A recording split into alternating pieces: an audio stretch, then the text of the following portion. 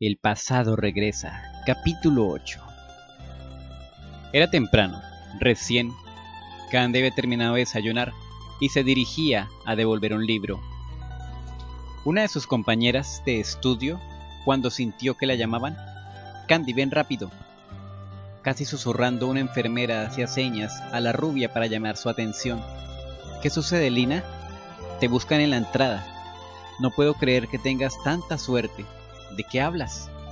Candy no entendía a lo que se refería. ¿De dónde sacas hombres tan apuestos? Sigo sin entender a qué viene eso. Primero el joven rubio, después el actor Terrence Granchester y ahora alguien llamado Albert Andry. ¿Quién es tu primo? ¿Albert está aquí? Gracias, Lina. Candy salió a toda prisa. Cuando se paró en seco, recordando lo que había dicho su compañera. Lina, espera. Sí, ¿qué pasa? Cuando dijiste que primero había venido un joven rubio, ¿quién era? No lo sé.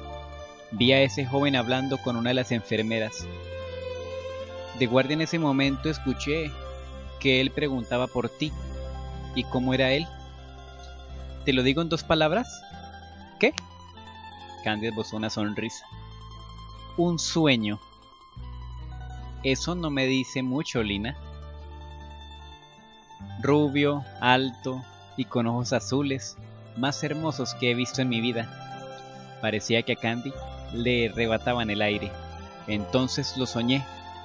Es más, creo que tiene un aire al joven que te está esperando. ¿En serio? No puede ser. Una sensación de angustia golpeaba su pecho. Su mente quizás no era tan tramposa como había creído. Bueno, Candy, será mejor que te des prisa. En un rato comienza la clase y sabes lo estricto que es el director Harlow. ¿Eh? Sí, lo siento, estaré temprano. Cerca de la entrada, sentado en un banco, se encontraba Albert. Cuando vio a Candy se puso de pie. Mi pequeña Candy, ¿cómo has estado? Pero ¿cómo has crecido? Bástame apenas cuando me dices así. Ven, vamos al jardín. Ahí hablaremos mejor. Su saludo fue frío. Estaba aturdida, por lo que se acababa de enterar. Albert presentía que algo sucedía. En otra ocasión ella hubiera saltado de alegría al verlo. Cuando llegaron al jardín, Candy fue directamente al lugar donde había aparecido ver a Anthony. Pequeña, parece que no te agrada verme. ¿Qué sucede? La rubia se le quedó mirando y lo abrazó con fuerzas.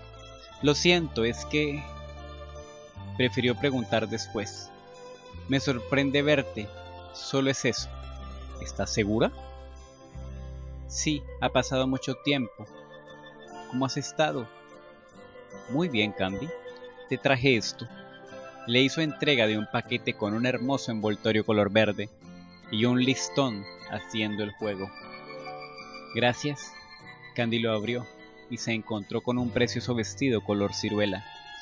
Gracias, Albert. Es divino. Pero no debiste. Claro que sí. Quiero que estés hermosa mañana por la noche. Vendré a buscarte para ir juntos al teatro. Ah, sobre eso, Terry dijo. Hizo una pausa y Albert la interrumpió. Terry me dijo que me asegurara de llevarte y eso haré. Albert podía leer muy bien los ojos de Candy. Sabía que algo la inquietaba y sabía perfectamente qué era. ¿Cuándo te dijo eso? Hace un par de días. Me lo encontré en un restaurante. Él estaba con su madre. Bien, en ese caso te espero. ¿Y cómo han estado Archie y Steer? Hace mucho que no sé nada de ellos. Se puede decir que los mantengo ocupados. En unos días tendrán que viajar a New York por unos negocios. ¿Puedo preguntarte algo? Me ha estado dando vuelta en la cabeza. Hay muchas cosas que no entiendo y siento eso aquí en mi pecho. Candy quería explicar un montón de sentimientos por los que estaba pasando, Candy, Candy, tranquila. ¿No puedo entender qué sucede? No hace mucho vino alguien a buscarme. No hablé directamente con él. No hubo ocasión, pero sí alcancé a verlo y me pareció que estaba soñando. ¿Por qué? ¿Quién era él? Candy suspiró y titubeó al decir su nombre. Ah, Anthony. Creo que era Anthony. ¿En serio? Sí, lo sé. Es una locura, pero fue real. En ese momento. No, pero ahora estoy segura que sí. Mi compañera también lo vio. Pero ella no conocía a Anthony. No, pero me lo escribió. Y es la misma persona que vi ese día. Alberto tomó su mano y la miró fijamente, para que Candy, lo único que parecía decir esa mirada es que estaba equivocada, que dejara de llamar a aquel de una vez. Fue su amor. No hace falta que me digas nada, dijo Candy resignada. Albert acarició su rostro y le preguntó, ¿y qué pasaría si fuera realmente? ¿Cómo actuarías? ¿Qué pasaría con Terry? No lo sé, Candy cubrió su rostro. No sé. No te preocupes. Todo estará bien. Será mejor que me vaya. Me parece que he robado mucho de tu tiempo. Deberás volver, ¿verdad? Sí, Albert. Candy se puso de pie y lo abrazó. Gracias por el vestido, te espero mañana. Albert se despidió y siguió su camino.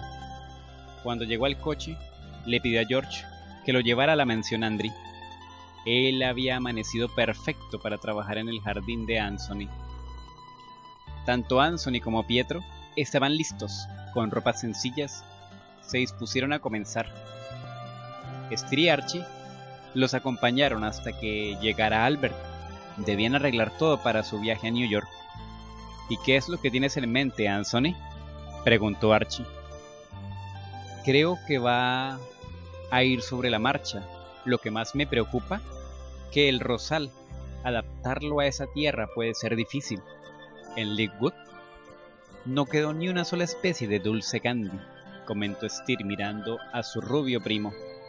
Lo sé, antes de venir aquí, fui a Lakewood. Tenía muchas ganas de ver el jardín de mi madre y me encontró con todas las dulce candy y se habían marchitado. Por eso comenzaré de nuevo aquí, se podría sentir el porqué de su empeño por arreglar el jardín.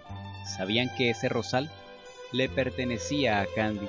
Anthony se encargaría de dejar su marca en él. Buenos días, saludó Albert apenas llegó. La tía me dijo que estaban aquí. Hola, dijeron los tres primos a la vez. Pietro los miró y se sonrió. Se notan que están sincronizados, jajaja. Buono giorno. Buenos días. Tú debes ser Pietro, ¿verdad? Así es, señor. No me digas señor, me hace sentir un viejo. Soy Albert. Mi sobrino me habló de ti. Gracias por cuidar de él en Escocia. Por favor, no diga eso. Antonio e come mio fratello. Anthony es como mi hermano, bueno, Archie, Steer será mejor que nos vayamos. Tratemos de terminar lo antes posible. Los tres se despidieron. Anthony y Pietro comenzaron a trabajar. Pasaron casi tres horas en las cuales no pararon. El sol se hacía notar cada vez más y ese calor se veía reflejado en el cuerpo de ambos jóvenes. Antonio, será mejor que vayas a buscar algo para taparte. El sol puede ser terrible en pieles tan delicadas, decía el joven italiano de forma burlona. ¿Quién es delicado? Si quieres que te recuerde, yo he trabajado en jardines antes que tú, señorito. No toco tierra. Eso fue hace mucho. Ahora siento que la tierra es parte de mí. Sí, eso es seguro. Tienes todo tu rostro lleno de tierra. De pronto, una de las mocamas los interrumpió dejando una jarra con limonada sobre la mesa. Joven Anthony, aquí les dejo algo para beber. Debería tomarla, ya que está fresca. La muchacha no podía quitarle la vista de encima a ninguno de los dos. Gracias, eres muy amable. Disculpa, pero no sé tu nombre. Mi nombre es Diana. Bueno, Diana, muchas gracias otra vez. Pietro se acercó a Anthony y mirando a la joven tímida dijo, Amigo, debo confesarte que desde que he llegado solo he visto mujeres muy hermosas. La muchacha se sonrojó y Anthony notó que le había puesto incómoda. Aprovechando que su amigo estaba muy cerca, le dio un codazo en el estómago de manera amigable pero lo suficientemente fuerte para que Pietro no dijera más. ¿Qué pasa? preguntó extrañado el italiano. Nada, Dianas, puedes retirarte. Sí, joven, con permiso. Cuando la joven se fue, volvieron al trabajo. Anthony notó que le faltaban las tijeras más grandes. Iré a preguntar por las tijeras. En un momento vuelvo. No te preocupes. Ya eran pasadas las once y media cuando Elisa tocó el timbre de la mansión Andri. Charles la recibió y le dijo que señora Elroy había salido. ¿Tardará mucho en volver? No creo, señorita, salió temprano y como usted sabe, a la señora le gusta estar temprano para almorzar. Sí es verdad. ¿Y no hay nadie en casa? Sí, señorita, el joven Anthony y su amigo están en el jardín trabajando. ¿Trabajando? preguntó Elisa curiosa. Sí, el joven Antonio está haciendo unos arreglos en el jardín. Típico de él. Bueno, pasaré a saludarlo. Al entrar se topó con el joven rubio que iba de salida. Antonio, ¿cómo estás? Elisa no ocultó su alegría de verlo, pues lo tomó del brazo sonriéndole exageradamente. Hola, Elisa. ¿A dónde vas con tanta prisa? ¿Y así vestido? Tengo que salir a buscar unas semillas. ¿Por qué no mandas al jardinero? Vine a visitarte. Lo siento, pero como hoy estamos trabajando en el jardín, decidí darle el día libre a Benicio. Además, prefiero ir yo mismo. Está bien. De todos modos, me quedaré a almorzar, así que nos veremos. Bien. Me voy entonces. Charles, ¿podrías decirle a Pietro que salí, por favor? Sí, joven. Ahora mismo le aviso. Elisa pasó a la sala estaba intrigada porque el jardín, o por lo menos eso quería hacerse creer. Iría a echar un vistazo, dijo para sí misma. Cuando salió, vio que las mocamas estaban todas observando por los grandes ventanales que daban al jardín. ¿Qué sucede? ¿Que están todas sin hacer nada? le reprochó cruzando los brazos. Nada, señorita, solo miramos lo bello que es. Digo, lo bello que está quedando el jardín. Tendrán mucho tiempo para eso. Cuando limpien ahora deberán volver a su trabajo. Sí, señorita, con su permiso. Las jóvenes salieron apuradas. Elisa miró a través de la ventana y no vio nada. Salió al jardín y sin querer pisó un charco, por lo que unos zapatos se ensució. ¡Qué horror! Mi zapato es nuevo. ¡Qué asco! En esos momentos, no es buen lugar para andar con zapatos nuevos, señorita Ligan. Déjeme ayudarla. Ella lo miró y se sintió nuevamente débil. Sus bellos ojos grises la atravesaban el pecho. No quiso tocarlo por miedo a flaquear. No podía, no debía. No, gracias. Puedo sola, además, sus manos están todas sucias. Si ese es el problema. Pietro fue y se lavó las manos y la cara. Las gotas de agua parecían disfrutar el recorrer su cuerpo. ¿Cómo era posible que tal persona provocara en su personalidad de hielo algo parecido? Elisa no podía comprenderlo. Pietro volvió a ofrecerle la mano, pero seguía sin aceptarla. En serio, estoy bien. ¿Por qué es tan orgullosa, señorita Ligan? ¿Qué? ¿Cómo se atreve? Es suficiente, me voy. No necesito escuchar tales cosas de un hombre como usted. ¿Un hombre como yo? Solo estoy siendo caballeroso tratando de ayudarla. Los ojos de Pietro eran desafiantes. Caballeroso es una palabra muy grande para usted. ¿Me está ofendiendo? ¿O solo es así por naturaleza? Podrá ser el amigo de Anthony, pero sigue siendo un jardinero común y corriente. Las palabras de Elisa podían llegar a herir a cualquiera, pero Pietro parecía hacer oídos sordos Debo decir que Anthony siempre tuvo la costumbre de mezclarse con cualquiera. El joven italiano solo la observaba y sonreía. ¿De qué se ríe? preguntó con el ceño fruncido, sacudiendo el pie para quitar el exceso de barro. Sé que aunque sus palabras son del todo hirientes, y sé que está consciente de que así son, hoy día se ve hermosa. ¿Qué?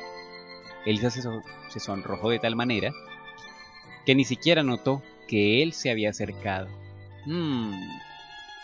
Parece que dije algo inapropiado. No se me acerque, atrevido.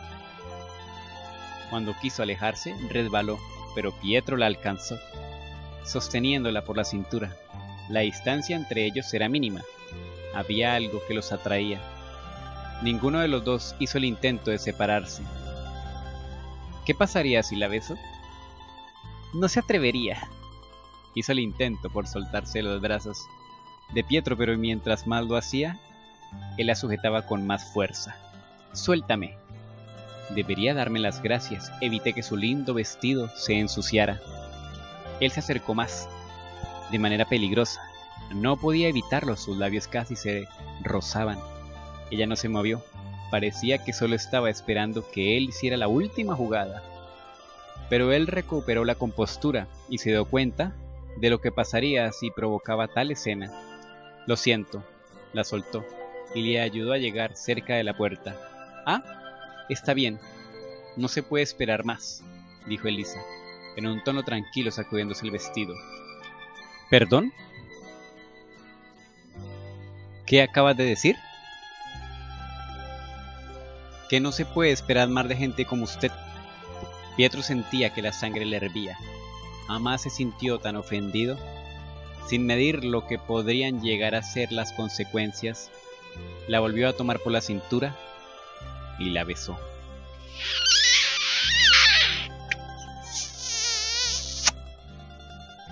Había tanta pasión e ira en ese beso robado que la falta de aire se hacía notar. Ella trató de alejarlo, pero lo único que conseguía era que la besara con más fuerza, hasta el momento que se rindió, y solo dejó que pasara, permitiendo que sus lenguas jugaran y se sintieran del todo. El beso parecía eterno y placentero. Cuando la soltó, vio que Elisa estaba avergonzada. Él le regaló una hermosa sonrisa y le dijo, Parece, Elisa, que no te molesta ser besada por gente como yo. Si me disculpa, acabo de seguir con mi trabajo. Pietro hizo una reverencia con la cabeza y se fue. Ella lo miró sorprendida y se sentía ridiculizada, indefensa. ¿Cómo un simple jardinero, un don nadie, pudo conseguir eso? Sin importarle volver a escuchar y a ensuciar sus pies, lo siguió, y tomando el brazo para verlo de frente, le dio una bofetada. ¿Estamos a mano, señorita Ligan? ¿Quién te crees que eres para tratarme de esa manera? Haré que mi tía te eche de la casa. No me importa que Anthony sea su amigo. Te quiero fuera de aquí. Terminaré mi trabajo y me iré. De eso no tengas duda. Nunca pensé que una niña mimada y caprichosa me sacara de quicio. Elisa se dio la vuelta y se fue de allí. Cuando llegó a la puerta principal de la mansión, la tía abuela entraba junto con Anthony. Querida, disculpa si te he hecho esperar. No, tía, está bien, pero tengo que irme. Elisa, ¿no te quedas a almorzar? No, tía. Mira cómo estoy, señalando su vestido y zapatos estropeados por el barro. ¿Pero qué te sucedió? Cuestionó la señorita Elroy. Elisa hizo una pausa. Nada, tía. Solo quise ver cómo estaba en el jardín. Y me tropecé. Metí sin querer el pie en el barro. Me siento incómoda así. Prefiero volver en otro momento. Anthony solo la observaba. Tenía la intuición de algo había pasado entre ella y su amigo. Está bien. Le diré a Charles que prepare el coche. Gracias, tía. Entonces nos vemos después, Elisa. Saludó a Anthony Sí, por supuesto. Después vendré a visitarlos, con permiso. Seguiré con lo mío, dijo Anthony. Ve, hijo, le contestó cariñosamente a la tía abuela. Al salir del jardín, Anthony notó lo distraído que estaba Pietro. ¿Qué sucedió? preguntó el rubio, de brazos cruzados apoyando en un banco. Antonio, ¿llegaste? ¿Pudiste conseguir lo que buscabas? Sí. Vi a Elisa, iba de salida, estaba muy sucia, ¿qué pasó? ¿Qué te dijo? Preguntó el italiano sin dejar de lado lo que estaba haciendo. Dijo que se tropezó, que por eso se marchaba. Entonces, ¿eso fue lo que sucedió? ¿En serio? Antonio, quisiera terminar lo antes posible. Terminemos por hoy. Nos daremos un baño, almorzaremos y saldremos a distraernos un rato. Creo que por hoy ha sido suficiente. Sí, yo también creo que por hoy he superado mi límite. Delote suspiró. Ay, mi límite de trabajo. Y así fue. Una vez terminaron de almorzar, salieron a conocer Chicago. Entre todo lo que había pasado, Anthony tampoco obtuvo mucho tiempo para conocer. Parecía inevitable al pedirle al chofer recorrer los lugares más importantes de la ciudad, que éste los llevara al teatro de Chicago, donde se presentaba la obra en la que Terry era el protagonista. Vaya, ¿ese es tu rival? La tiene difícil, amigo. Aspeta, yo he visto. Ah, ahora recuerdo. Él estaba con tus primos cuando fueron a Escocia. ¿Te digo algo? ¿Qué? Se ve mucho mejor en persona. Se mofó de su amigo. No es gracioso. Anthony lo miró frunciendo el ceño. Parece que estás de mejor humor. Quizás ahora sí quieras contarme lo que sucedió con Elisa. ¿En serio? ¿Es necesario? Mira, que te vas a disgustar.